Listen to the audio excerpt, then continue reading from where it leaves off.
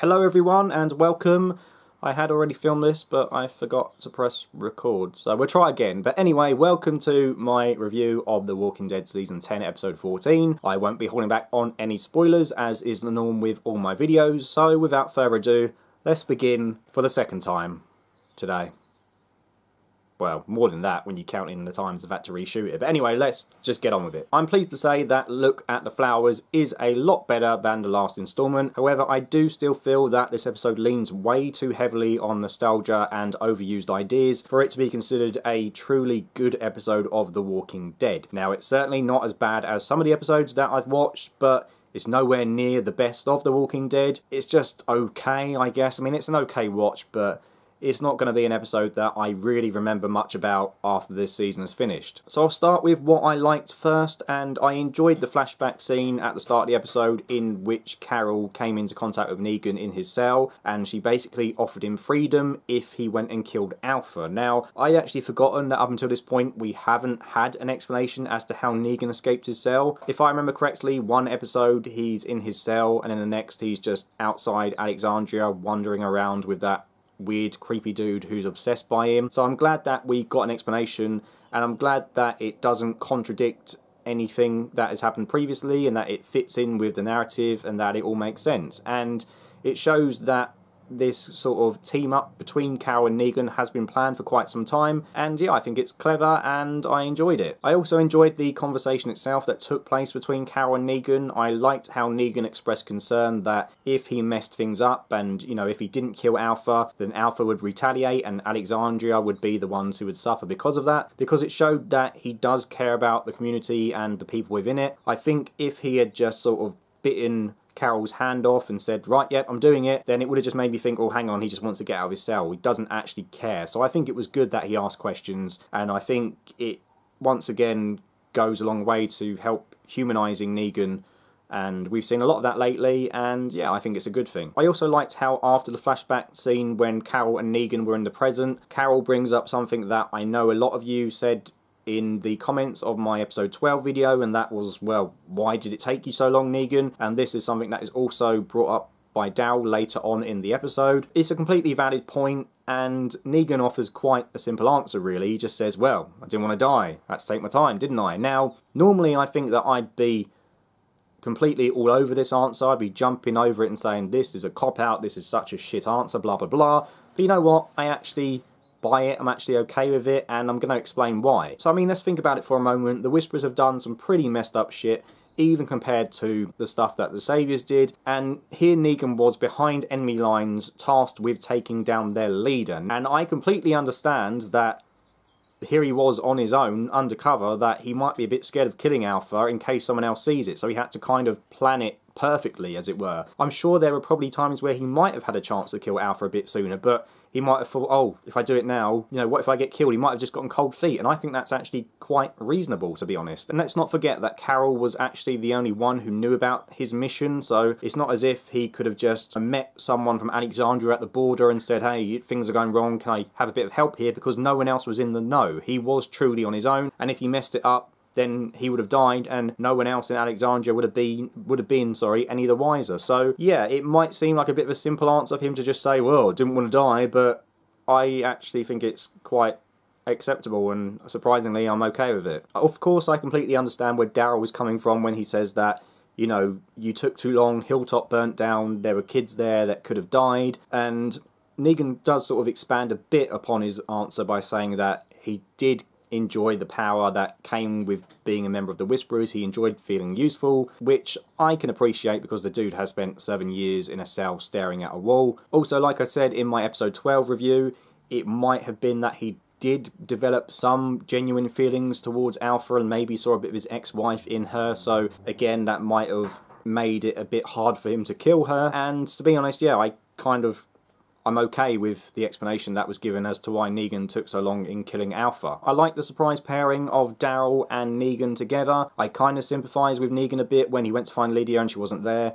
and then when he went back to the border and Alpha's head wasn't there, because it does seem like of late, whenever Negan tries to do something good, he never quite gets the credit for it, and yet, you know, here again, he was telling Daryl all, these good things that he'd done and there was no evidence for it. So I did feel a bit sorry for the dude. Despite the fact that I enjoyed Negan and Daryl spending time together, I do have to say that I saw him betraying the Whisperers who wanted him to be their new alpha coming from a mile away. I mean, why would Negan throw away everything he'd done and randomly kill Daryl just because a couple of Whisperers want him to be their leader? I mean, there's no guarantee that the rest of the Whisperers would fall in line anyway, so he might just ended up with these three as his followers. And even if he did somehow get the rest of the Whisperers in line and became the leader of the whole group, he would still then have a war with Alexandria on his hands because they'd want revenge for Daryl's death. And yeah, it would just be more bloodshed and it would be kind of pointless. And, you know, even though Negan said that he did enjoy the moment of power with the Whisperers, and he seemed to enjoy the power he had over Daryl in that moment as well. I kind of think that he's done being a leader. He's past that. He's tried, he failed, a lot of people died, you know, he's been in prison. I don't think he wants that anymore. He wants to be part of Alexandria, which has been proven by the various good deeds that he's done over the last season and a bit. So, yeah, I think it was obvious that he wasn't going to kill Daryl because it wouldn't have made any sense at all for him to do so. But despite that, it was still quite a cool scene. The main issue that I have with the Negan and Daryl scenes is when Negan mentions to Daryl why Alpha had to die, and he brings up two reasons. The first being that she kills innocent people, which you shouldn't do, and the second being that you don't kill kids. Now, unfortunately, because of some of the dumb decisions that were made during the All Out War saga of the show, this isn't quite consistent with what Negan's done previously. I mean, first off, when he says, oh, you don't kill innocent people, Negan has killed a lot of innocent people, and in fact, he's used to instruct the Saviors to kill innocent people rather than the guilty people. I mean, think back to when Rosita tried to shoot him. He didn't kill Rosita, he told one of the Saviors to kill a random person, and they ended up killing Olivia. Now, I don't think you could say Olivia was guilty. She didn't do anything. So him saying, oh, you don't kill innocent people, that's just bullshit because that's what he used to do. When people stood up to Negan, it was often that they didn't get punished, but other people did. I mean, the same thing happened when Daryl punched him. It wasn't him who got killed, it was Glenn. And then there are often times when people did attack him that he actually tried to recruit them. I mean, Think about when Sasha went into his base and she tried to get him on side. Or Carl goes in and guns down a load of people. And instead of killing him, he just says, oh, you know, he thinks he's like a cool kid and sends him back to his dad. So yeah, I don't buy this whole you don't kill innocent people shtick because he's done that a lot. And the second point when he says you don't kill kids, I appreciate that Negan has done a lot for Judith and Lydia, but Let's go back to the season 7 finale, which I do try and pretend isn't canon. He was about to bash Carl's brains in, but was only stopped by a bloody jumping tiger. So you can't say you don't kill kids when you're about to kill Carl. I mean, again, unfortunately, I think this conversation suffers because of some of the dumb choices that were made in the past. And I think if Angela Kang was on board, she wouldn't have made these choices. But unfortunately, because of what Negan has done previously, it isn't consistent with what he's trying to say. Now, I know the show is almost trying to pretend that season 7 and 8 kind of didn't happen and trying to make us forget that, but they did. Negan has killed innocent people. He did try and kill a kid, so yeah, I can't really buy what he's saying, unfortunately. Aside from Negan, Eugene was the other character that I really liked this episode. I enjoyed his speech when he rounded everyone up and explained who he was talking to and sort of poured his heart and soul into his speech, saying that he believed in hope and finding new people and friends and that sort of thing. And I think normally this is the type of speech that I would have found quite cringe inducing, but I actually felt what he was saying, I believed it, and yeah, I found it quite moving, surprisingly. So yeah, I thought it was quite a nice speech by Eugene. So now we come to the bad stuff, and I'm sure that this isn't going to surprise anyone when I say that I didn't care for Carol's little trip in the woods where she was talking to an imaginary alpha. This whole subplot felt completely pointless. It didn't really achieve anything. She just ran off, talked to Alpha for a bit in her head, got trapped under a house, then escaped and went back to Alexandria. Complete waste of time, in my opinion. And, you know, I said in the last video that there's been too many hallucinations and visions of late in The Walking Dead, and yet again, we have another scenario where a character is talking to someone in their head and they're seeing things, and it's just not needed. You know, as much as I enjoy Samantha Morton as Alpha on the show, she only died two weeks ago. Why are we bringing her back already in someone's head? Why is she here torturing Carol? Just let her be, please. I don't need to see this. So, yeah, I just thought it was a waste of time. I didn't enjoy it. And I'm hoping that the last two episodes will stop with the annoying dream visions stuff. Just stop, please. I also wasn't really a fan of the beta stuff. I mean, yeah, it was cool to learn that he was previously a country music singer in the past, and I did think the scene when all the walkers were surrounding him like some kind of concert was quite a cool was quite cool visually. But apart from that, I don't think there needs to be that much focus on Beta as a character. I mean, he's not that interesting really. He's not going to fill in the hole that Alpha has left.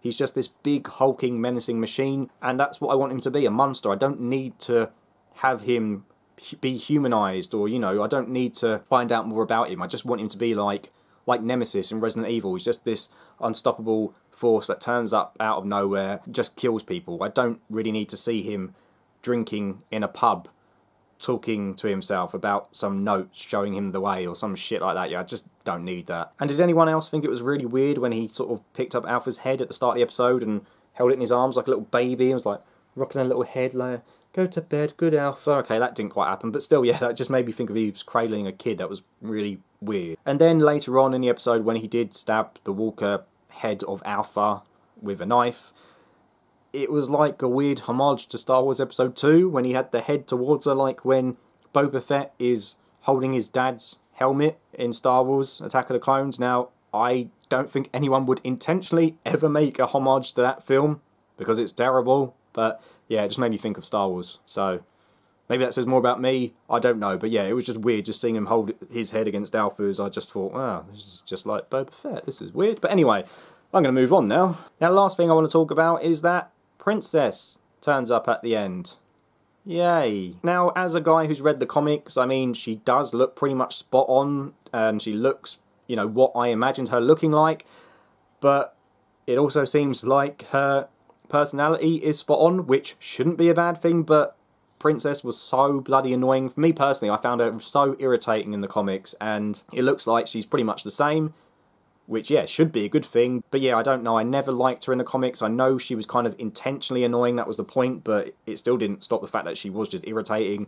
And it looks like it's going to be the same in the tv show. And i wonder how fans of the tv show will react to this especially those who haven't read the comics because it seems as if we are trying to get away from these over the top characters even though we have people walking around in walker masks. But yeah it's like you know when we had sort of Ezekiel and his tiger, and he's all over the top. And you know, I, I guess it took a while for people to get used to it, and it helped that it was all an act. But now we've got Princess, who is this talkative, sort of ADHD, really over the top character, and I don't know how people are going to react to it at all. I think there could be a lot of people who are like, fuck this, she's too irritating, but I don't know. Maybe people will like her, maybe that's just me. But we'll see. I mean, I reserve judgment for now. Maybe. Not at all. I already hate her. But that's about it for this video. Please let me know what you thought about this episode in the comments below. Did you like it? Did you hate it? Or like me, did you just kind of think, oh, it was alright, it wasn't anything special? Whatever your views, let me know below. And as always, stay safe. Um, because, yeah, we're still living in crazy times and a lot of people are dying at the moment. So, yeah, look after yourself, everyone and hopefully I shall see you all very soon. Take care, goodbye.